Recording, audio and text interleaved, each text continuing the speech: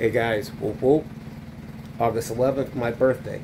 Now, for the people I don't like, and they know I don't like them, I'm not going to mention their names, but they know who they are. So tagging me is not going to make me come to your stream.